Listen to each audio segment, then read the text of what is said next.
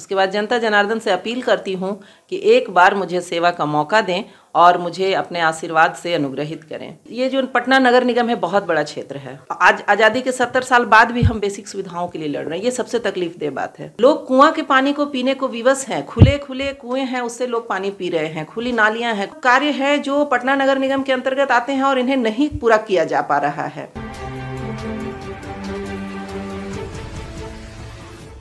ठंड की सरगर्मी से हतप्रोत है और इसी बीच जो है कि राजनीतिक चुनाव के बीच और राजनीति के बीच जो है कि पूरे बिहार में गर्मी बढ़ गई है। अब आप कहेंगे, गर्मी कैसे बढ़ गई है?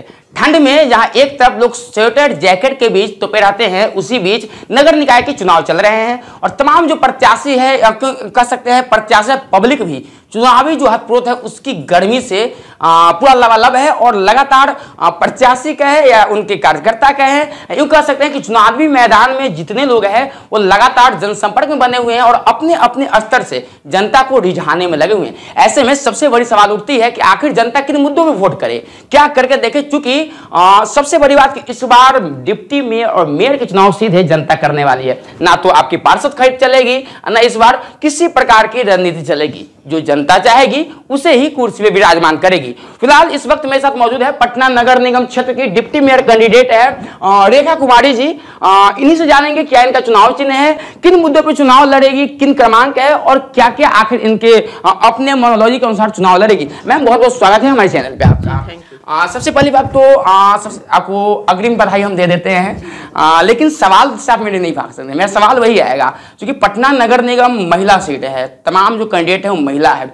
ऐसे में सबसे बड़ी सवाल उठती है कि महिला आ, किन मुद्दों पे लड़ रही है? किन मुद्दों पे महिलाएँ खुलकर आ रही है सामने? आ, किन मुद्दों पे आप यदि निकल रहे हैं तो सबसे पहले आपसे लोग पूछते हैं किन मुद्दों पे आप लड़ेंगे? आप जीतेंगे तो क्या करेंगे? तो अभी तक जनता आपसे नहीं पूछती थी। अभी तक आपसे पार्षद पूछा करते थे आप जितने का मेरे लिए क्या करेंगे? जनता आपसे पूछेगी आप जितने का मेरे लिए क्या करेंगे? तो बतौर पटना नगर निगम की जनता में आपसे पूछना चाहता हूँ कि जितने के बाद आप क्या करेंगे मेरे लिए? सबसे पहले तो मैं अपना परिचय दे दूँ कि मेरा नाम रेखा कुमारी और रेखा गुप्ता हुआ। चुनाव चिन्ह मेरा बकरी छाप और क्रमांक संख्या बारह है। उसके बाद जनता जनार्दन से अपील करती हूँ कि एक बार मुझे सेवा का मौका दें और मुझे अपने आशीर्वाद से अनुग्रहित करें। मैं चुनावी, ये जो पटना नगर निगम है, बहुत बड़ा क्षेत्र है।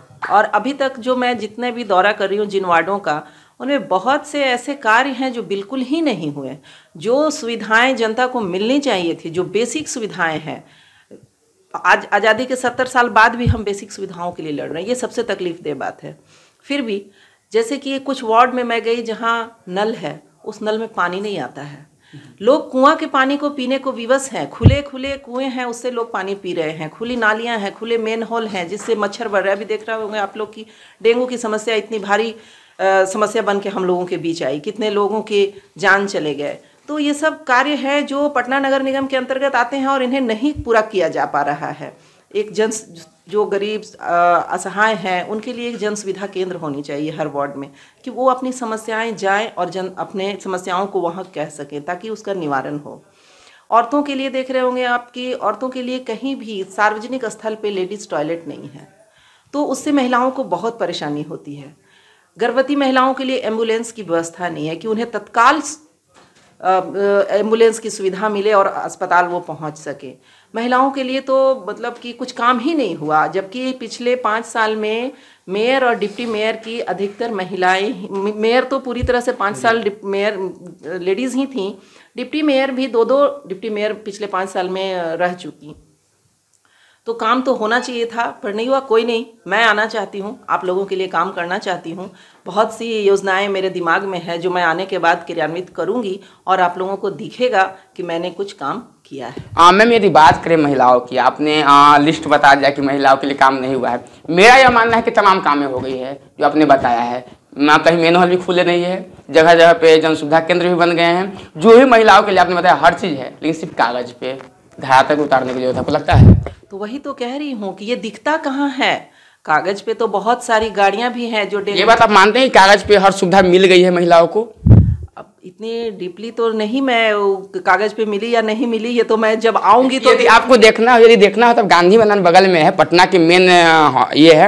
आप जाकर वहाँ देखिए आप बता रहे हैं जगह जगह जन सुविधा केंद्र होनी चाहिए जो भी होनी जब जाकर देखिए वहाँ पे मिलेंगे आपको। बंद शौचालय मिलेगी कचरे वाले खुले मेन हॉल मिलेंगे जो कि कागज़ पे खुले नहीं है। जब वहाँ कोई घटना हो जाती है ना तब पता चलता है कि अच्छा वो मेन हॉल खुले थे इसके कारण घटना हो गई है। जब कोई अभी आप चूँकि डिप्टी मेयर कैंडिडेट है और पटना की पूरे बिहार की राजधानी से आप जो है कैंडिडेट बन के आइए तो ऐसे में सबसे बड़ी सवाल उठती है कि यदि पटना बदल गई तो पूरा बिहार के यहाँ पे जो मैसेज आती है कि आपने पटना को बदलने में सक्षम रहा।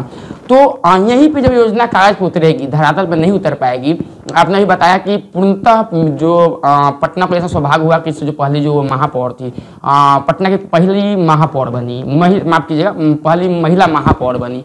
बावजूद आपको लगता है कि महिलाओं के लिए काम होना चाहिए। जितना पेपर पे हुए हैं उसको धरातल पे उतारने का काम करेंगे। बिल्कुल धरातल पे उतारने का काम करूँगी। आप जगह जगह देख रहे होंगे कि स्ट्रीट लाइट के साथ साथ कैमरा भी लगा हुआ है। लेकिन जब हमारे बुज़ुर्गों के साथ हमारे महिलाओं के साथ चेन स्नेचिंग की घटनाएँ होती हैं तो असामाजिक तत्व पकड़े नहीं जाते। क्योंकि वहाँ उस एरिया का कैमरा काम नहीं कर रहा होता। है ठीक है? तो जो आप कह रहे हैं वो बात सही है कि कागजों पे तो बहुत सारे कार्य हो गए। लेकिन उसकी सुविधा जनता तक नहीं पहुँची।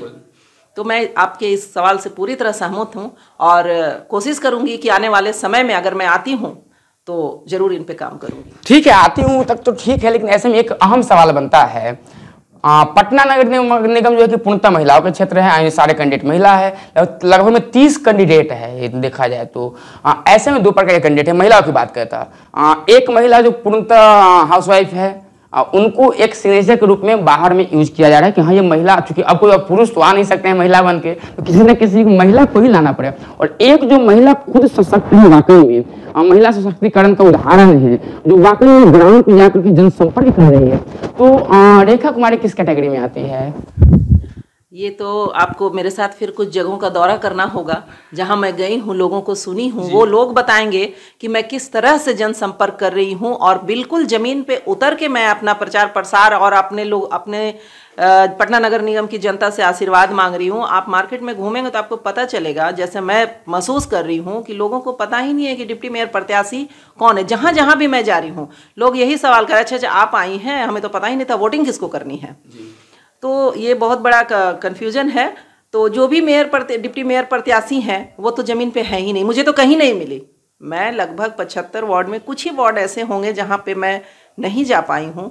और मुझे कहीं कोई प्रत्याशी चाहे मेयर हो या डिप्टी मेयर हो कहीं कोई पर, किसी प्रत्याशी से मुलाकात नहीं हुई। उनकी गाड़ियाँ मिल जाती हैं उनके आ, बड़े बड़े साउंड बॉक्स लगे हुए गाड़ियाँ मिलती हैं लेकिन वो कहीं नहीं मिली। आपकी गाड़ी आपकी गाड़ियाँ नहीं मिल रही है। हमारी मेरी गाड़ियाँ शायद कम मिले पर मैं हर जगह मिल रही हूँ लोगों को। आपकी वोट बैनर गाड़ी सामने नहीं मिल रही है आपकी। नहीं वो तो मिल रही है मतलब जैसे मेरा कहना एक तो चुनाव है तो, तो मजबूरी है मैम। लेकिन जिस प्रकार से आप बता रहे कैंडिडेट नहीं मिल रहे हैं जिसके मुझे मिलना चाहिए। अब वोटिंग तो कैंडिडेट के नाम पे ही होगा। कैंडिडेट को ही देखो ना कि उनकी गाड़ी उनके ड्राइवर उनके खलासिया उनके बोर्ड और बैनर देख के होगा। तो कैंडिडेट को किस रूप में आना चाहिए? कैंडिडेट को बिल्कुल काम करने के लिए आना चाहिए ना कि किसी पे डिपेंड होके आना चाहिए। लेकिन ये उनकी समस्या है वो खड़ी हैं तो मैं उन पर ज़्यादा कुछ नहीं बोलना चाहूँगी।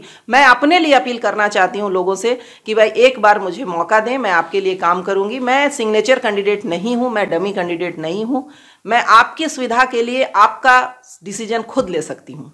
मैम, एक अंतिम सवाल है, यदि पटना की जनता आपको मौका देती है तो जीतने के साथ ही किन किन कामों को आप सबसे प्राथमिकता देगी, सबसे पहले करेगी, आपको लगता है कि सबसे ज़्यादा क्योंकि यदि पटना नगर निगम की बात करें तो बीच राजधानी में होने के बावजूद भी बहुत गंभीर गंभीर समस्याएँ होती है, जिसकी अब कहीं ना कहीं जनता को ही करनी पड़ती है। की बात करें तो मैरिन ड्राइव। जैसे चीज़ पटना को मिली है बीच पटना नगर निगम में है। यदि उसके बाद तो राजीव नगर जैसे नाला मंदिरी की नाला ये पटना नगर निगम है जिसका जो कि सुचारू रूप से व्यवस्थित करना ज़रूरी है। तो यदि मौका आपको मिलती है और जनता ने आपको चुन के सिंहासन में बैठा दिया तो सबसे पहले किन मुद्दों को आप प्राथमिकता देगी? मुद्दे अभी देखा आप जैसे आपने देखा है कुछ साल पहले हमारा पूरा कंकड़वाल डूब गया था पानी से। तो उसका रीज़न क्या है? जो नालों की उड़ाही नहीं हो पाती जो बड़े बड़े नाले हैं अगर समय पे उनकी सफ़ाई हो जाए समय पे उनकी देख रेख हो जाए वो ढक दिए जाएँ जो भी नालों की प्रॉपर कार्य होते हैं वो किए जाएँ तो बिल्कुल इस इन सब चीज़ों से हमें निजात मिल जाएगी। आप देख रहे होंगे वेंडर जोन की व्यवस्था नहीं है पटना में। इंक्रोचमेंट की समस्या इतनी ज़्यादा है लोग सम, बच्चे समय से स्कूल नहीं पहुँच पा रहे हैं घर नहीं आ पा रहे हैं एंबुलेंस समय से हॉस्पिटल नहीं पहुँच पा रहे तो इंक्रोचमेंट की वजह से जाम की समस्या। एक समस्या तो है ही उससे दूसरी समस्या उत्पन्न हो रही है। तो अगर पटना नगर निगम ऐसे लोगों के लिए एक वेंडर जोन की स्थापना करे जो उन उन लोगों के रोजी रोटी की व्यवस्था करे उनका भी काम चलता रहे और लोगों को जाम से भी मुक्ति मिल जाए। तो ये सब बड़े बड़े मुद्दे हैं जिन पे काम होना ज़रूरी है जिससे आए दिन पटना नगर निगम की बहुत मतलब मेजोरिटी ये जो पॉपुलेशन है उससे परेशान है। तो ये सब काम तो बहुत बड़े आ, क्या अपील करेंगे हमारे चैनल के माध्यम से इस वक्त जो आपको देख रहे हैं पटना नगर निगम की जो तमाम जो आपके वोटर्स हैं जो मतदाता हैं उनसे क्या प्रार्थना क्या अपील करेंगी?